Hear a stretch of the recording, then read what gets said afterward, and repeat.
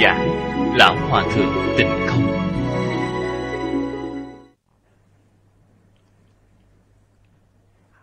Sau khi nghe danh, nhất định phát tâm. Vì sao vậy? Tam huệ khởi dụng. Quyết định phát tâm. Phát tâm gì vậy? Tâm bồ đề. Bồ đề là tiếng phạn.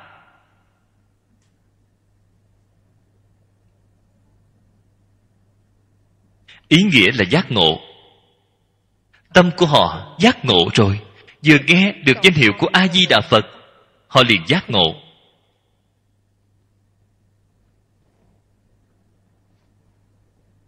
A di đà phật, cái danh hiệu này là gì vậy? A, dịch là vô. Di đà dịch là lượng. Phật, dịch là giác cái danh hiệu này toàn bộ dịch thành ý nghĩa trung văn là vô lượng giác. Nghe được danh hiệu này, không thể giác ngộ hay sao? Ngày ngày niệm a di đà phật vẫn còn phải quấy nhân ngã. Không giác. Tại vì sao không giác? Không hiểu được ý nghĩa của danh hiệu. Ngày ngày niệm danh hiệu a di đà phật. A di đà phật ý nghĩa gì không biết. Cho nên họ không giác. Đây chính là tại vì sao? Danh hiệu công đức thù thắng như vậy. Mười niệm một niệm đều có thể giảng sanh thế giới cực lạc để làm phật. Thích ca mâu ni phật năm xưa ở đời. Tại vì sao không lãnh đạo mọi người niệm phật? Ngày ngày giảng kinh nói pháp. Rất khổ cực. Các vị nghĩ xem, nếu như bạn là thích ca mâu ni phật thì bạn làm bằng cách nào? Tôi tin tưởng bạn nhất định hướng dẫn mọi người niệm phật, không cần giảng kinh. Thật là thoải mái.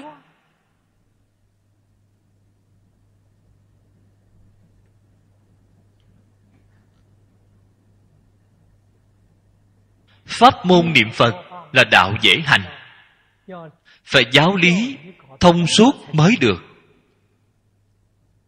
Không thông, không được. Thế nhưng cũng có người không thông. Họ niệm phật cũng có thể giảng sanh. Đó là ngay trong đời quá khứ đã học qua giáo, học thông rồi. Họ không phải không thông, họ vốn dĩ là thông. Thỉnh thoảng có một chỗ bế tắc. Chỉ hiện tại không thông, thế nhưng hiện tại dạy họ niệm niệm cái bế tắc đó rất dễ dàng bị phá vỡ, họ lại thông rồi, như vậy mới có thể giảng sanh. Chỗ này chính là phật pháp gọi là thiện căn phước đức nhân duyên, trong đời quá khứ, chín mùi. Tuy là không thông giáo lý, họ cũng có thể giảng sanh. Họ là ngay đời này không thông giáo lý, nhiều đời nhiều kiếp, họ đã học qua giáo lý này. Cho nên, họ có thể nhất tâm xưng niệm, họ có thể dạng duyên buông bỏ.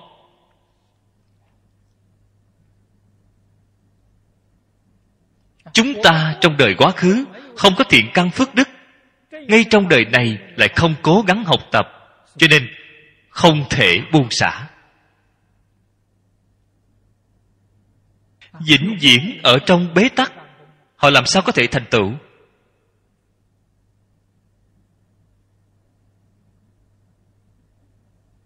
Những sự việc này đều phải hiểu cho rõ ràng tường tận. Cho nên thích ca mâu ni phật đại từ đại bi vẫn là ngày ngày giảng kinh nói pháp, đã nói hết 49 năm.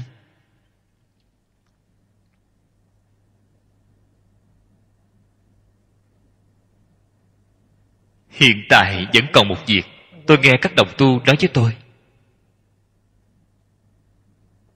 Trung quốc đại lục, có không ít đồng tham đạo hữu, cũng đều niệm phật rồi nói niệm phật nghĩ đến pháp sư. Thật là đáng lo.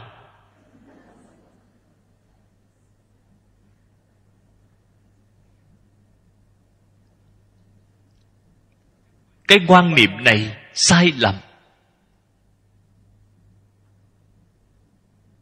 Đại thế chí nói, nhớ phật, niệm phật. Bạn không thể nói, nhớ pháp sư, niệm phật cái tâm này của bạn có hai dụng. Bạn không phải một tâm, bạn là hai tâm. Như vậy không thể thành công. Cho nên các đồng tu, đại lục sau khi quay về phải khuyến cáo mọi người. Chuyên niệm a di đà phật. Không nên nghĩ đến pháp sư. Nghĩ đến pháp sư, chướng ngại bạn giảng sanh tôi đã đem việc này nói rõ ràng. Tương lai bạn không thể giảng sanh, không nên trách tôi. Tôi không chướng ngại bạn.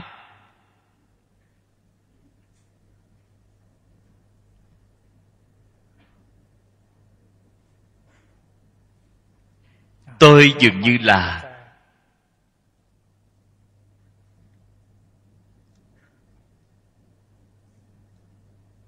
vào năm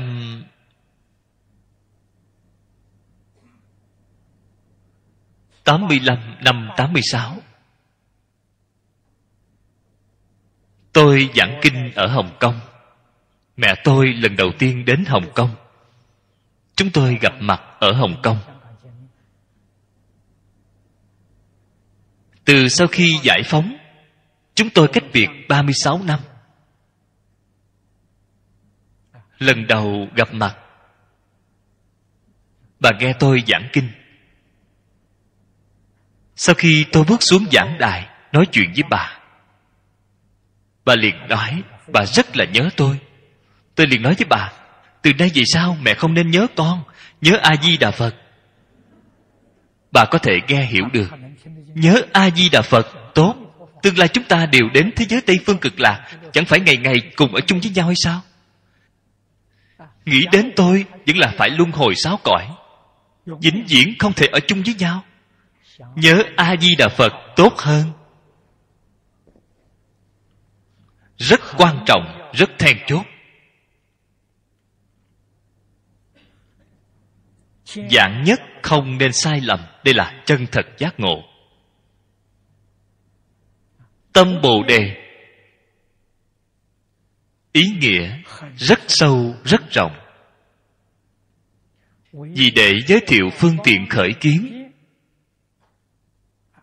người xưa thường nói hai loại tâm bồ đề. Một loại là duyên sự tâm bồ đề. Một loại là duyên lý tâm bồ đề. Từ trên sự mà nói, chính là tứ hoàng thệ nguyện mà thông thường đã nói. Tứ hoàng thệ nguyện là tâm bồ đề. Ở trong quyển kinh này 48 nguyện chính là tâm bồ đề.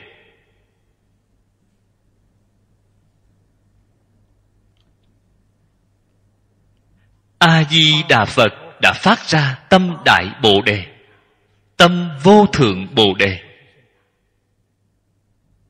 48 nguyện, mỗi nguyện độ chúng sanh. Điều thứ nhất trong tứ hoàng thệ nguyện chúng sanh vô biên thệ nguyện độ, chúng ta có phát ra cái tâm này hay không?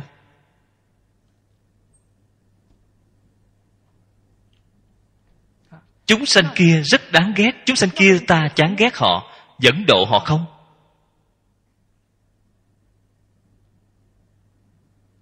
Có thể thấy được, tâm bồ đề của chúng ta là giả. Ưa thích bạn, tôi liền độ bạn, kỳ thật chính mình độ chính mình cũng đều không được, làm gì có năng lực độ người khác. Đều là nói lời giả dối.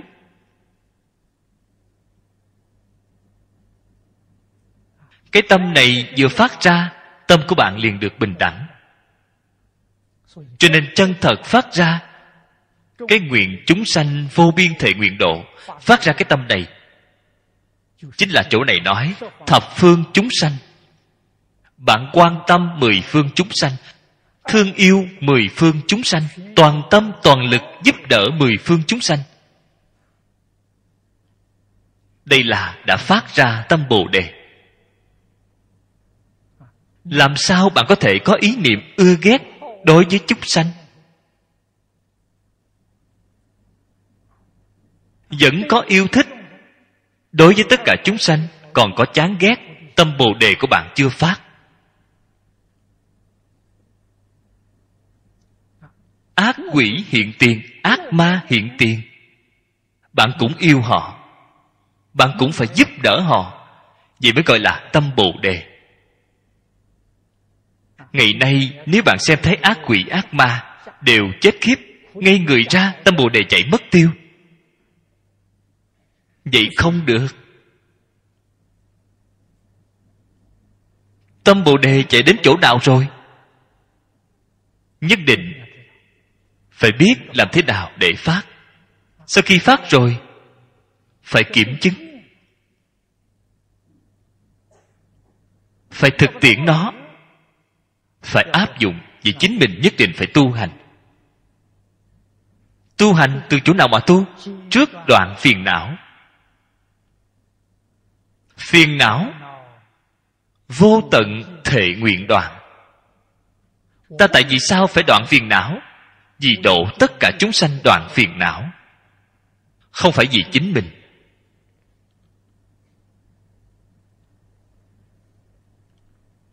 Vì chính mình đoạn phiền não, không phải tâm bồ đề. Tâm bồ đề của bạn lượng quá nhỏ, đó là vì độ chính mình, không phải vì độ chúng sanh. Tâm nhị thừa, không phải tâm bồ đề nhị thừa không có tâm bồ đề. Ta vì tất cả chúng sanh đoạn phiền não.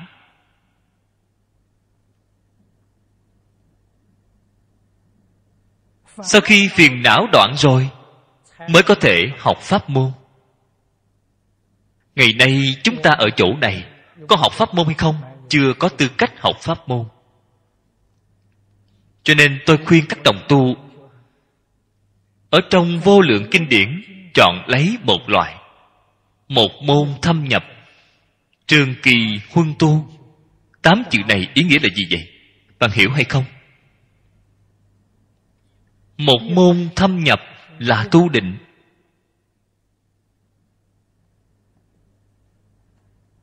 Trường kỳ huân tu là từ trong định khai huệ. Ngày nay chúng ta đi con đường này là giới định. Là bắt tay vào từ chỗ này. Nếu như vừa mở đầu bạn liền học pháp môn, thì bạn nhất định thất bại. Bạn nhất định sai lầm. Vì sao vậy? Trí tuệ chưa khai mở. Bạn tu học những pháp môn đó. Đại sư thanh lương nói rất hay tăng thêm tà kiến. Không phải tăng thêm trí tuệ là tăng thêm tà kiến. Đến lúc nào mới học pháp môn? Trí tuệ khai rồi. Kinh hoa nghiêm sau cùng thiện tài đồng tử làm tấm gương cho chúng ta? Thiện tài đồng tử ở trong hội của bồ tát văn thù. Văn thù là lão sư của ngài ngài ở trong hội đó tu tập công phu gì? Một môn thâm nhập trường kỳ huân tu. Ngài làm cái công phu này.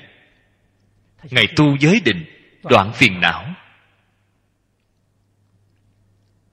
Một môn chính là đoạn phiền não. Một môn chính là tu tâm thanh tịnh.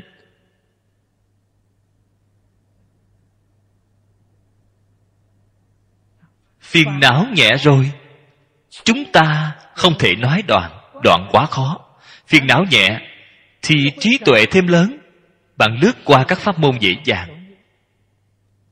Nên gọi là một kinh thông, tất cả kinh thông. Đây là bí quyết tu hành của phật pháp. Tại vì sao tôi đặc biệt cảm tạ lão sư lý? Cái bí quyết này lão sư ngày truyền thụ cho tôi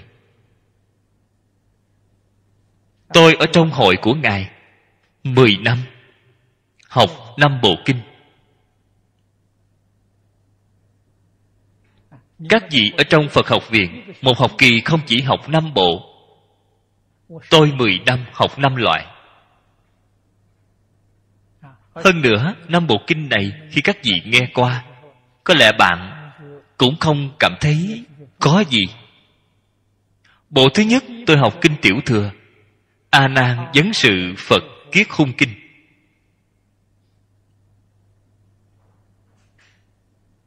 Bộ thứ hai là phật thuyết a di đà kinh.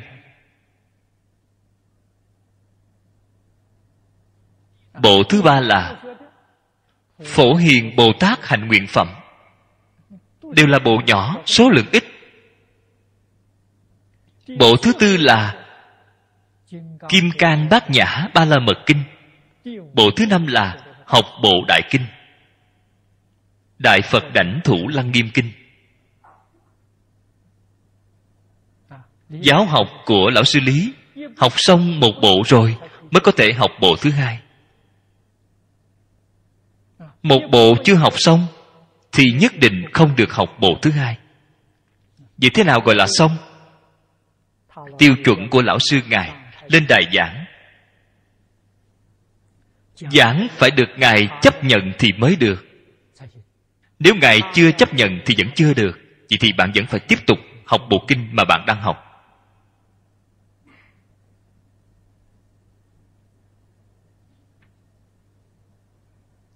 Phương pháp hay. Một môn thâm nhập. Để bạn ngay trong quá trình tu học. Tôi học lăng nghiêm là ba năm ba năm trong đầu, chỉ có một bộ kinh. Các thứ khác đều không có. Có thể được định, có thể khai huệ. Kinh hoa nghiêm tôi chưa học qua, kinh pháp hoa chưa học qua. Kinh hoa nghiêm là tôi khải thỉnh là tám đồng học chúng tôi khải thỉnh lão sư khai giảng hoa nghiêm. Tôi là một trong số đó. Tôi chỉ nghe một quyển. Kinh hoa nghiêm, quyển thứ nhất tôi nghe xong. Tôi đến đài bắc giảng hoa nghiêm. Tôi nghe xong cái quyển đó, phía sau 79 quyển tôi đều biết giảng.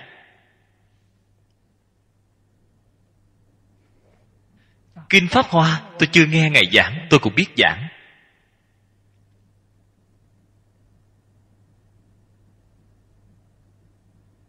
Cái phương pháp này Lão sư dạy cho tôi. Tôi thật chịu học. Ngài dạy tôi đọc một bộ kinh. Tôi chỉ đọc một bộ kinh. Vậy tôi không được xem các kinh khác, Thì tôi không xem các kinh khác. Tôi liền học xong.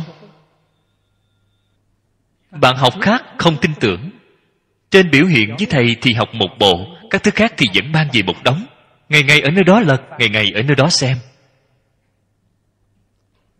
Không nghe lời, cho nên không phải lão sư thiên vị. Lão sư dạy học bình đẳng, tôi có thể đạt được, tôi nghe lời. Tôi quyết không trái ngược giáo huấn của lão sư chuẩn mực y dạy mà học chính là trì giới. Một lòng chuyên chú chính là cầu định. Bạn mỗi ngày đang nghiên cứu, mỗi ngày đang giảng dạy, đó là huệ. Giới định huệ tam học, đây là xây nền móng, định đặt nền móng. Vì sao trí tuệ dần dần khai mở? Các kinh giáo khác có thể lướt qua. Tôi giảng qua rất nhiều kinh. Chí ít cũng có ba, bốn mươi loại. Những bộ kinh đó đều không phải là học ở đại trung. Cho nên giáo dục nền tảng là quan trọng hơn bất cứ thứ gì.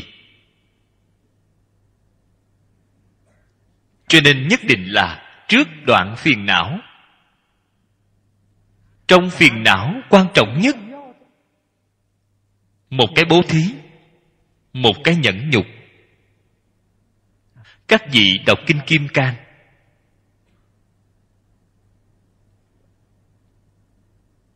Kinh kim cang tôi học qua ở đại trung. Rất nỗ lực học tập. Tôi nhớ được thời gian là một năm.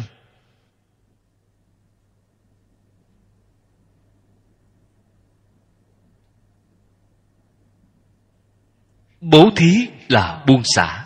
Bạn phải có thể buông xả. Trong đó giảng sáu ba la mật, hai thứ này giảng được rất nhiều. Giảng được nhiều nhất chính là rất quan trọng. Trước tiên, bạn phải có thể buông xả được. Kế đến, phải có lòng nhẫn nại. Bạn phải có thể nhẫn nại được sau đó, bạn mới có thể có tiến bộ, mới có tinh tấn, mới có thiền định, mới có trí tuệ.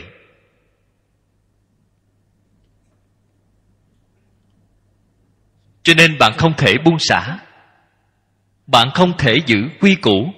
Trì giới chính là giữ quy củ, chính là thủ pháp. Bạn làm sao có thể thành tựu?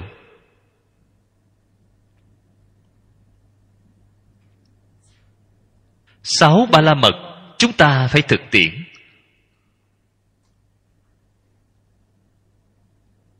Mọi thứ không thể buông xả, không được. Không thể vào cửa. Lão sư chọn học trò. Thực tế mà nói, chính là chọn hai điều kiện này. Bạn có thể buông xả. Bạn có lòng nhẫn nại. Con người này liền có thể dạy nên. Ngay liền, muốn chọn lấy, để bồi dưỡng bạn, để giúp đỡ bạn, để thành tựu bạn. Không có được hai điều kiện này, duyên không chín mùi. Họ chính là muốn giúp đỡ, cũng không thể thành tựu. Vì sao vậy? Bản thân bạn không đầy đủ điều kiện. Rất quan trọng, cho nên nhất định là trước đoạn phiền não lục độ chính là đoạn sáu cái phiền não của chúng ta. Bạn phải hiểu được cái đạo lý này. Tất cả chúng sanh, sáu phiền não lớn. Phật dùng sáu cái phương pháp này để đối trị. Bố thí độ sang tham phàm phu sáu cõi, tâm tham nặng. Khi chưa có được, thì hy vọng có được. Sau khi có được rồi, lại không thể buông xả. Bỏng sẻn sang tham là gì? Sang tham là ngã quỷ.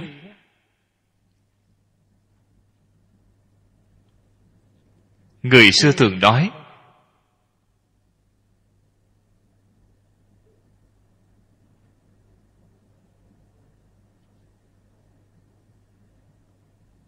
giữ quỷ tố hoặc kế.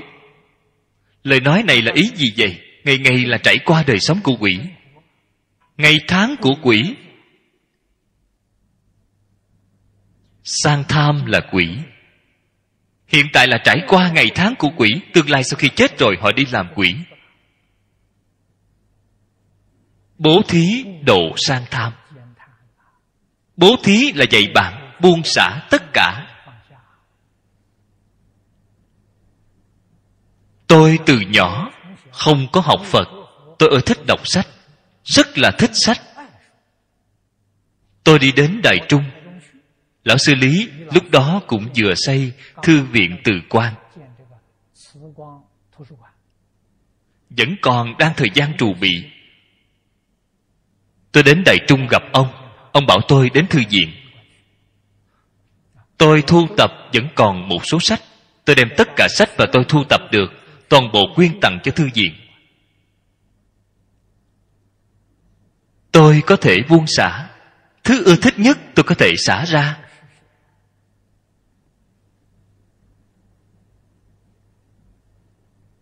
Cho nên, bạn phải thực tiễn, phải có hành động để biểu hiện.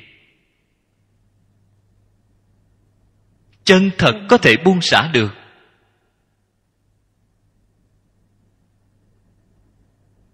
Cho nên lão sư lý sau khi gặp mặt tôi tôi quyên hiến những số sách đó. Làm công quả ở cái thư viện này. Ông liền rất lưu ý. Chân thật phát tâm muốn học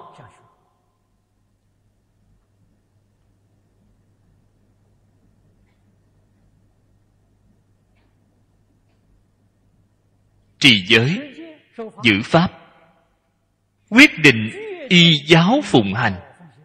Lão sư dạy thế nào thì chúng ta làm thế đó. Cho nên khi tôi nhập môn, trước tiên ông cho tôi ba điều kiện. Tôi đích thực tuân thủ.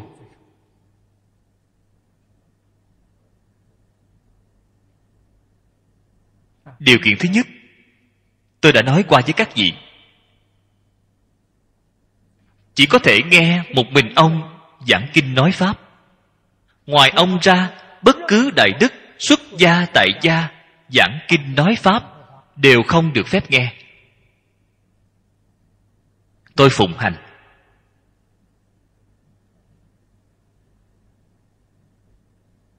Các pháp sư đại đức khác giảng kinh đều không được phép nghe. Vì những việc thị phi khác còn có thể được nghe sao? Càng không được phép nghe. Chỉ nghe một mình ông. Điều kiện thứ hai, bắt đầu từ hôm nay, sách của tôi xem. Không luận xem sách gì, phải thông qua đồng ý của ông. Lão sư chưa đồng ý, bất cứ sách gì đều không được xem. Điều kiện thứ ba, tất cả những gì tôi học ngày trước đều không thừa nhận. Một mực phế bỏ phải theo ông học lại từ đầu. Đây là trì giới. Hoàn toàn tuân theo phương pháp dạy bảo của ông mà làm. Thành thật trung thực. Chúng ta mới có thành tựu. Ông dạy bạn, nếu bạn không chịu nghe, vậy thì không còn cách nào, không cách gì dạy được.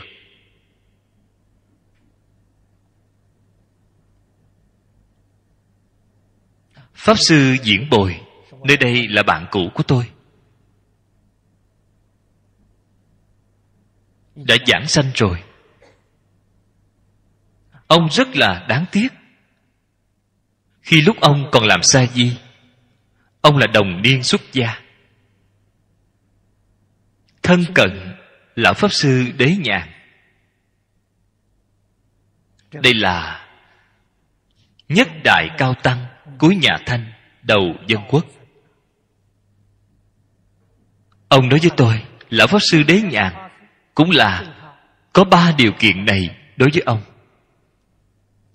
Đến sau này chúng tôi mới hiểu rõ, ba điều kiện này là tổ sư nhiều đời truyền lại nhau. Xem thấy vì học trò này có thể dạy thành, có thể bồi dưỡng. Dùng cái giới luật này để hạn chế bạn nếu như không thể dạy thành không thể bồi dưỡng, không hề có điều kiện này. Tôi lắng nghe qua các bạn học ở đại trung, lão sư chưa từng có yêu cầu đối với họ như vậy. Chỉ đối một mình tôi. Vì sao không đối với người khác? Đối với tôi tôi có thể tuân thủ, người khác không thể tuân thủ. Bạn yêu cầu họ trước dân sau trái. Họ không làm được, lão sư có trí tuệ thông minh bạn không làm được, không hạn chế bạn. Bạn chịu làm, hạn chế bạn.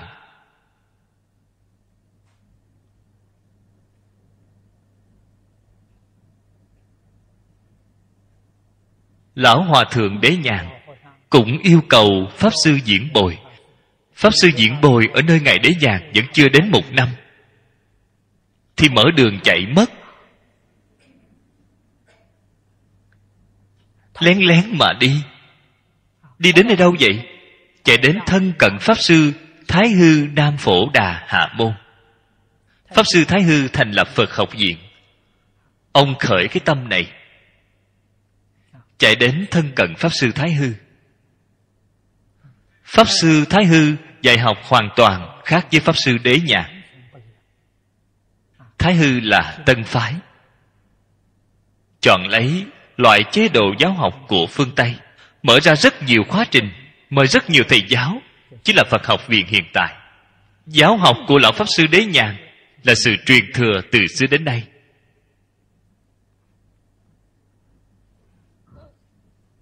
Cho nên, tôi từ trong sư thừa mà học ra được, không phải từ trong phật học viện ra. Sư thừa, lão sư nhất định phải gánh lấy trách nhiệm đối với học trò. Chỉ cần học trò chịu học. Không chịu học vậy thì không còn cách nào. Chịu học, lão sư chịu hoàn toàn trách nhiệm đối với học trò. Cái ân đức này to lớn. Cho nên, đều là từ đoạn phiền não mà bắt tay vào. Sau khi phiền não đoạn rồi mới có năng lực học pháp môn. Chúng ta thấy thiện tài đồng tử ở trong hội của bồ tát phổ hiền. Giới định huệ tam học thành tựu.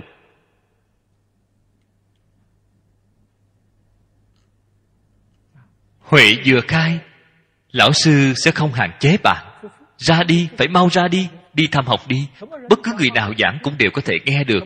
Bất cứ sách nào đều có thể xem. Hoàn toàn mở rộng. Tại vì sao về trước không mở rộng? Vì về trước bạn không có năng lực phân biệt phải quấy. Sợ sau khi bạn tiếp xúc, bạn bị người mê hoặc. Hiện tại bạn có năng lực phân biệt chân vọng, phân biệt tà chánh, phân biệt phải quấy phân biệt thiện ác, chỉ cần có năng lực này, bạn ra đi. Đi tham học. Người xưa gọi là xuất sư. Bạn có năng lực thì được, hiện tại gọi là tốt nghiệp. Không có cái năng lực này, không tốt được nghiệp. Có cái năng lực này mới có thể tốt nghiệp. Lão sư liền để bạn ra đi, sẽ không giữ bạn lại thêm một ngày. Vì sao vậy? Giữ thêm bạn lại một ngày là có lỗi với bạn. Cho nên ở dưới hội của lão sư thành tựu cái gì? Căn bản trí. Ra đi tham học, viên mãn hậu đắc trí. Trí tuệ của bạn mới chân thật viên mãn.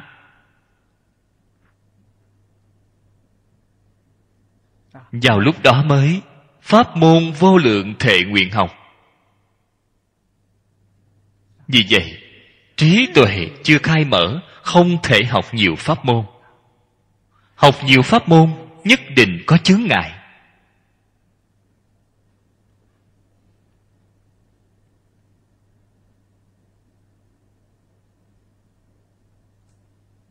Đây là phát tâm bồ đề. Từ trên sự mà nói, phải học pháp môn. Đoạn phiền não học pháp môn cần phải nâng cao cảnh giới của chính mình. Phải không ngừng nâng cao. Cho nên sau cùng, phật đạo vô thượng thể nguyện thành.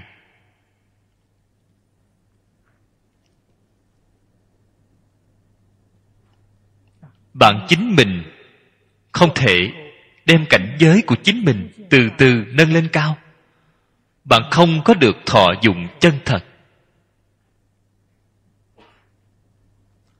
Thọ dụng chân thật hoàn toàn ở nâng cao cảnh giới.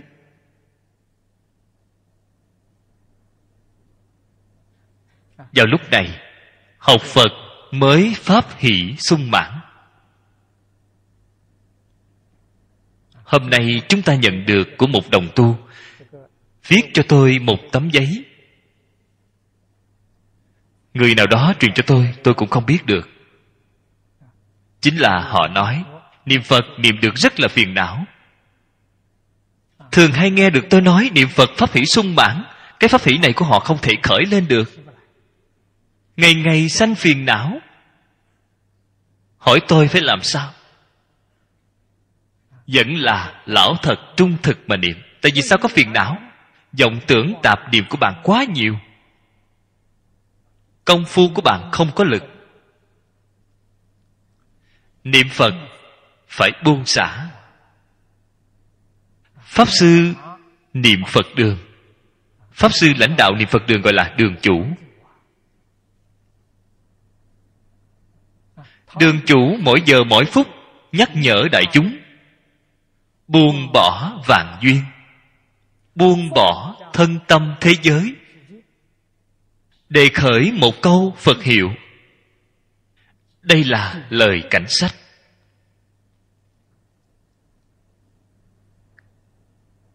Một mặt niệm phật, một mặt trong lòng vẫn có dướng bận, còn có lo lắng, còn có vọng tưởng. Công phu của bạn làm sao có thể có lực? Sự việc có quan trọng hơn, bước vào niệm phật đường rồi, đều phải buông bỏ. Không nên nghĩ đến nó, đợi sau khi ta niệm phật xong rồi, hãy nghĩ tiếp, làm việc tiếp. Bạn đi ra liền có trí tuệ. Chưa bước vào niệm phật đường, làm sự việc này có nghĩ thế nào cũng rất khó. Sau khi niệm phật ra nghĩ lại, vừa nghĩ liền thông suốt. Sự việc liền làm xong. Thế nhưng, bằng một mặt niệm phật, một mặt lo nghĩ, phật cũng niệm không được tốt, sự việc cũng nghĩ không được tốt. Bạn hai bên đều sai. Cho nên đồng tu niệm phật phải ghi nhớ, khi niệm phật, sự việc lớn bằng trời cũng phải buông xả, đều không để ý đến nó sau khi thời khóa, niệm phật xong rồi, rời khỏi niệm phật đường. Đáng làm sự việc gì thì đi làm việc đó. Có như vậy, bằng niệm phật cũng niệm được tốt, làm việc cũng làm được tốt. Hai bên đều được tốt. Nhất định không thể hợp chung lại với nhau.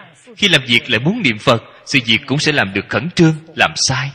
Khi niệm phật nghĩ đến công việc, phật hiệu cũng niệm không có lực. Cho nên vẫn là không như pháp. Như pháp nhất định được pháp hỷ sung mãn.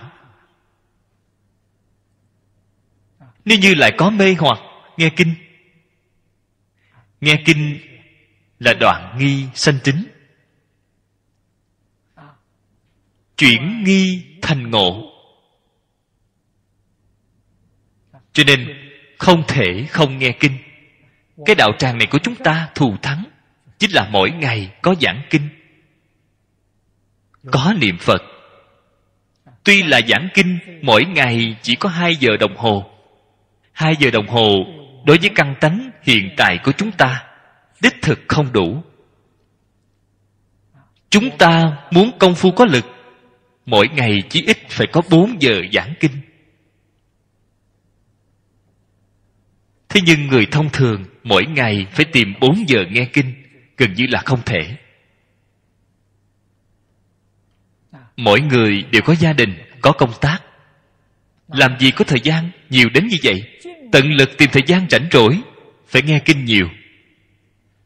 Lý không thể không tường tận sự không thể không rõ ràng. Lý sự đều tường tận đều rõ ràng. Bạn mới có thể buông xả hiện tại bạn học không thông là gì không thể buông xả, là vì sao không thể buông xả? Không hiểu đạo lý, không hiểu rõ chân tướng sự thật. Cho nên họ không thể buông xả. Chân thật rõ ràng tường tận rồi, rất dễ dàng buông xả.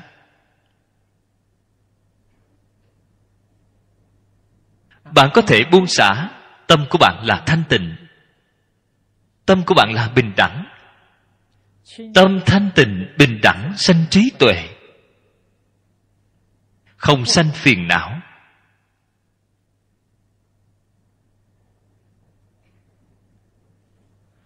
Bạn vẫn còn sanh phiền não, thì bạn hoàn toàn chưa buông xả.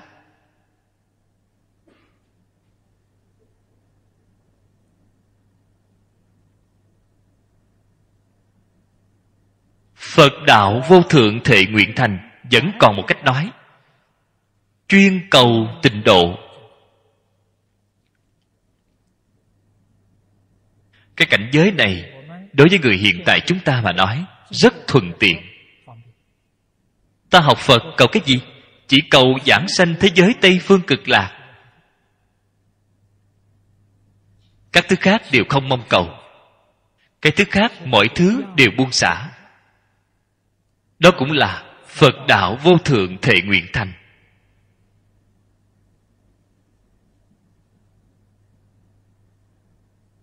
Thân thể vẫn còn ở thế gian này. Mỗi nơi, mỗi chỗ Tùy duyên, tùy phận. Đem cái pháp môn thù thắng này Giới thiệu cho người có duyên. Cái gì gọi là người có duyên? Người chịu học. Làm thế nào giới thiệu? Tam luân diễn pháp. Chúng ta đích thực. Có lòng yêu thương. Chân thành thanh tịnh bình đẳng. Để giúp đỡ người khác. Cái tâm này rất quan trọng. Ta muốn đem cái pháp môn thù thắng này nói cho người khác nghe. Vẫn phải làm cho người khác xem. Vì sao vậy? Bạn nói người khác mới tin tưởng. Bạn có thể nói mà chính mình không làm được. Những gì bạn đã làm hoàn toàn trái ngược với những gì bạn đã nói. Người ta không tin tưởng.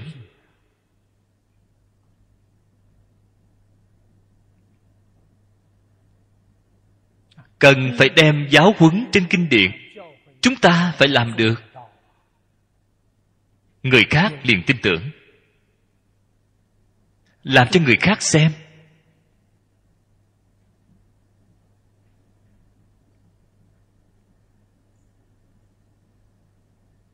Đây mới là chân thật. Giúp đỡ người khác. Giúp đỡ người khác chính là chân thật. Giúp đỡ chính mình.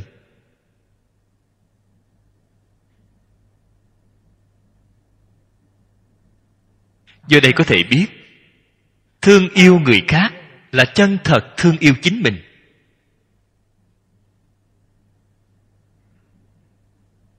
Thương yêu chính mình, không thương yêu người khác là chân thật hại chính mình.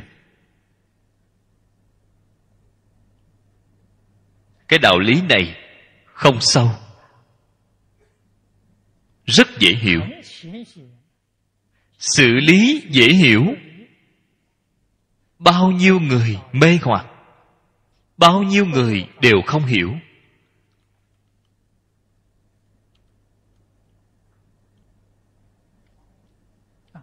Chư phật bồ tát không có chính mình, chỉ có chúng sanh. Chư phật bồ tát có được lợi ích hay không? Được đại lợi ích. Lợi ích gì vậy? Không có người nào không tôn kính phật bồ tát. Đây là đại lợi ích.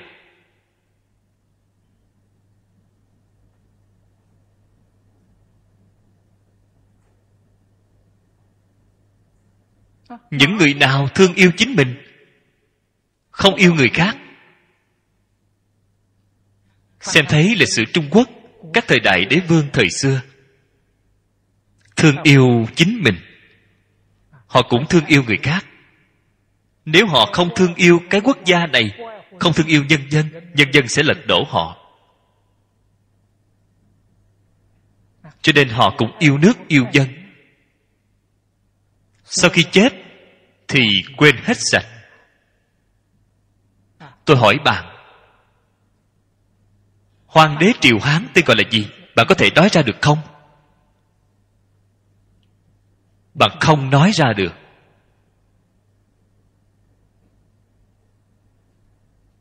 Họ tuy là yêu người, họ bên trong càng yêu chính mình hơn, cho nên không được.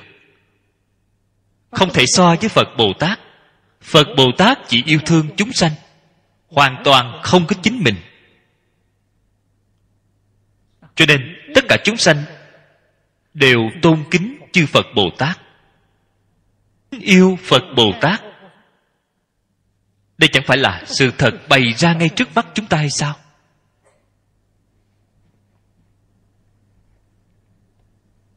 Đây đều nói được rất rõ ràng. Hướng về chỗ sâu mà nói, Hướng chỗ thật mà nói. Phật nói tất cả chúng sanh chính là chính mình. Cái lý này quá sâu. Người thông thường rất khó thể hội. Cần phải phát tâm. Bạn mới có thể tu các công đức.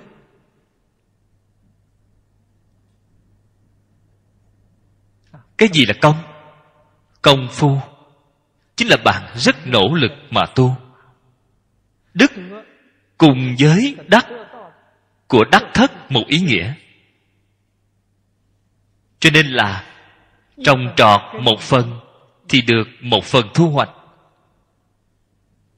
Bạn mới có thể có được sở đắc.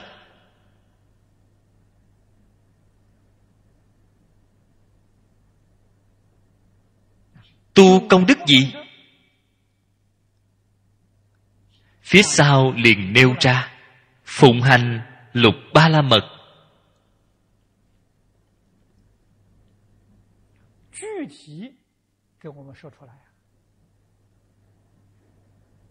Biết được chúng ta tu cái gì? Phật ở trên tất cả kinh thường hay dạy bảo chúng ta. Một là tất cả tất cả là một đây là hai câu nói trên kinh hoa nghiêm. Chúng ta nhất định phải ghi nhớ.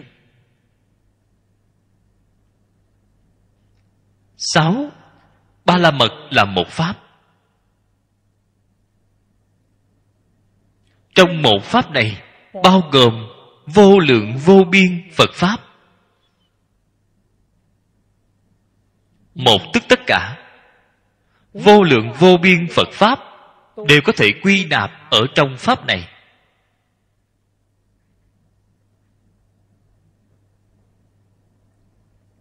Cái pháp lục độ này,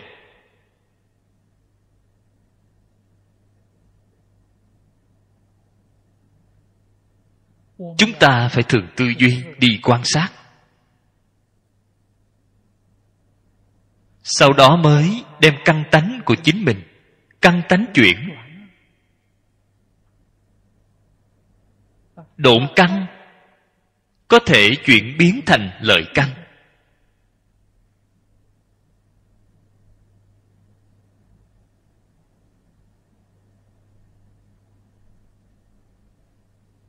Nhỏ, thị căn tánh, có thể chuyển biến thành viên đốn căn tánh.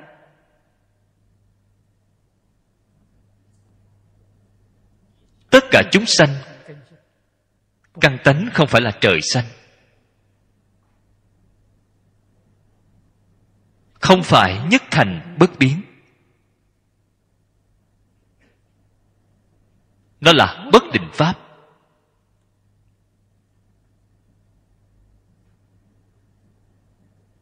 Thiện đạo nói rất hay.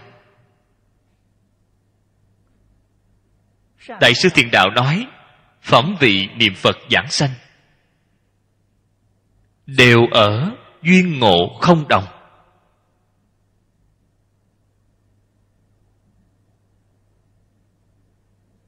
Lời của ngài là một nguyên lý, nguyên tắc. Tất cả chúng sanh căn tánh không tương đồng. Duyên cớ gì vậy? Cũng là ở gặp duyên không đồng.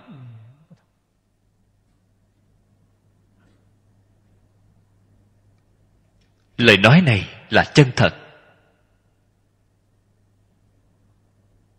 Tuy là phật ở trên kinh nói, trong căn tánh có bất định tánh. Bất định tánh đó là gặp duyên chuyển biến dễ dàng. Định tánh định tánh cũng có thể chuyển. Chẳng qua tương đối hơi việt phức một chút mà thôi. Gặp duyên không định tánh họ liền có thể theo đó mà chuyển định tánh cái duyên đó, phải tương đối sâu dày. Thì họ có thể chuyển đổi lại. Đây là chúng ta ở trong phật pháp xem thấy được. Nhất là thế tôn biểu diễn cho chúng ta xem, là mô phạm cho chúng ta. Thế tôn, ngài giảng kinh nói pháp 49 năm. Trong chúng đệ tử đi theo, chúng ta thường hay đọc thấy trên kinh, một hai trăm năm mươi lăm người đều là căn tánh không đồng. Từ thượng căn đến hạ hạ căn thảy đều có. Người thượng căn đi theo thích ca mâu ni phật thường hay nghe thế tôn ngày giảng kinh nói pháp. Hai ba năm liền khai ngộ. Bảy tám năm khai ngộ. Đến mười năm thì khai ngộ. Có. Người căn tánh trung hạ. Hai mươi năm, ba mươi năm cũng giác ngộ. Do đây có thể biết đều ở gặp duyên không đồng. Câu nói này nói thấu tột rồi. Ngày nay chúng ta tu học, tuy là không thể so với phật tổ, duyên phận thù thắng như vậy. Ngay trong đồng tu, vào thời đại này của chúng ta, duyên của chúng ta xem là tương đối thù thắng. Chúng ta rốt cuộc có được thành tựu gì?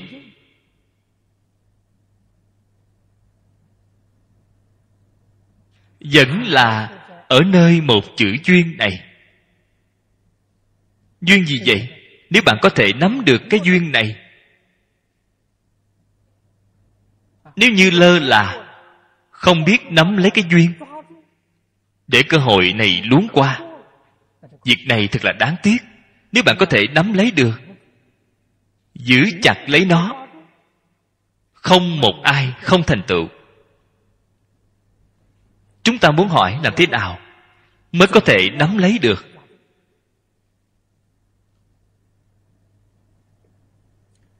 Phật ở trên kinh điển, lời nói này đã nói không chỉ mấy dạng lần. Trong mỗi một bộ kinh luận, đều phải lặp lại mấy mươi câu. Đại kinh càng không cần phải nói, quan trọng thì lặp lại mấy trăm lần, mấy ngàn lần. Thọ trì độc tụng, vì người diễn nói. Tôi một niệm các vị đều biết, các vị cũng sẽ đọc. Thế nhưng, bạn chưa làm được. Thọ là tiếp nhận. Năng tính, năng giải. Đây là thọ. Trì vĩnh viễn, gìn giữ, không thể để mất đi. Trong thọ trì trì vẫn là phải làm được, phải thực tiễn, đem cái tính của bạn những cái lý luận, phương pháp, cảnh giới đã hiểu, thực tiễn vào trong đời sống. Đây gọi là trì. Đó gọi là thọ trì. Bạn chân thật làm đến được. Ngày ngày phải đọc. Đọc kinh là thân cận lão sư. Thân cận thiện tri thức. Mỗi giờ mỗi phút nhắc nhở chính mình mà không quên mất. Như vậy bạn ngày ngày sẽ có tiến bộ. Sau đó, vì người diễn nói, làm ra tấm gương để cho người khác xem. Đây cũng là biểu diễn. Sau khi người khác thấy rồi,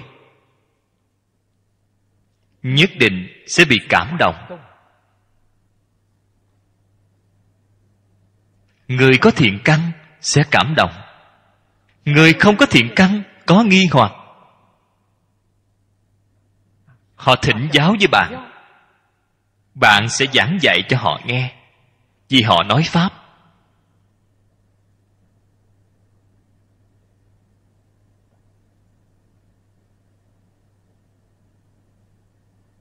Phật pháp là sư đạo. Sư đạo tôn nghiêm chỉ văn lai học, vị văn vãn giáo.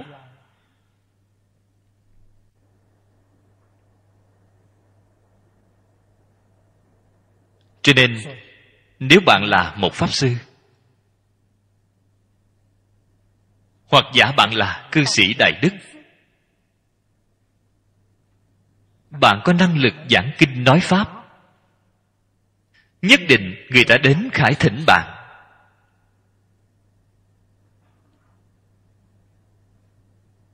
Họ không biết khải thỉnh thì phải làm sao? Có phương tiện thiện xảo tìm người khác bạn đến bảo họ thỉnh luôn là không phải chính mình nói, chính mình nói thật là ngại ngùng. Đó là phương tiện khéo léo. Phải họ đến khải thỉnh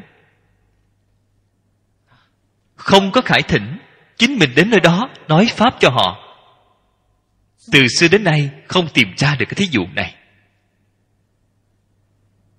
Tuy là trên kinh nói với chúng ta, bồ tát là bạn không mời không mời là cá nhân. Hai, ba người không phải là đoàn thể. Đoàn thể chắc chắn phải là tuân thủ quy củ. Phải tôn sư, phải có lễ tiết, để cung kính khải thỉnh tại vì sao vậy? Đây là biểu diễn cho người xem.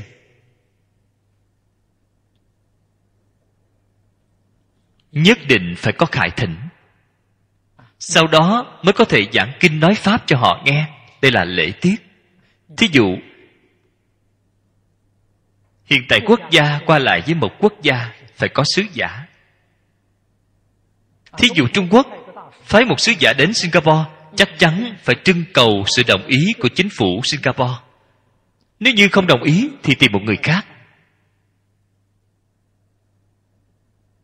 Đây là lễ tiết. Đạo tràng của người ta hướng đến chỗ này của chúng ta thỉnh cầu pháp sư đi giảng kinh. Họ đến thỉnh tôi tôi không có thời gian. Tôi muốn phái một pháp sư khác. Tôi phái một pháp sư cũng nhất định phải trưng cầu ý kiến của họ. Vì vậy phải thương lượng với họ trước. Họ đồng ý rồi. Chúng ta mới phái vị pháp sư này đi. Họ chính thức gửi thiệp thỉnh đến nơi đây. Ta phải trưng cầu ý kiến của họ. Lần này, học hội tịnh tông, new york mời pháp sư giảng kinh. Chúng ta phải trưng cầu ý kiến của họ trước. Tôi phái pháp sư ngộ bổn đi, họ đồng ý. Thì liền gửi thiệp mời đến. Như vậy chúng ta mới đưa người đi tuyệt đối không phải nói không có lễ tiết. Quá tùy tiện bởi chúng ta đi thì chúng ta đi. Thật không giống ai, người ta không tôn trọng. Việc này phải hiểu. Hai ba người nói pháp, vậy thì có thể làm bạn không mời mà đến.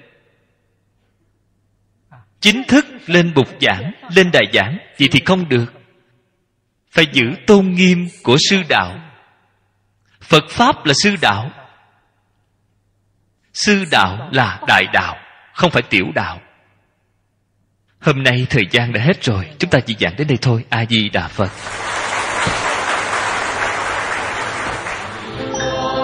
Cẩn dịch, vọng tay cư sĩ. Địa chỉ email, vọng tay cư sĩ a gmail com. Người đọc, hạnh quan phát tâm cúng dường do gia đình phật tử thiện chân thành kính cúng dường. Nguyện cả thảy chúng sinh đều tín niệm di đà, đồng cầu sanh về nước cực lạc. Nguyện đem công đức này trang nghiêm cõi nước phật trên đền bốn ân nặng dưới cứu khổ ba đường. Nếu có ai thấy nghe, đều phát tâm bồ đề, hết một báo thân này đồng sanh về nước cực lạc. Nam mô a di đà phật.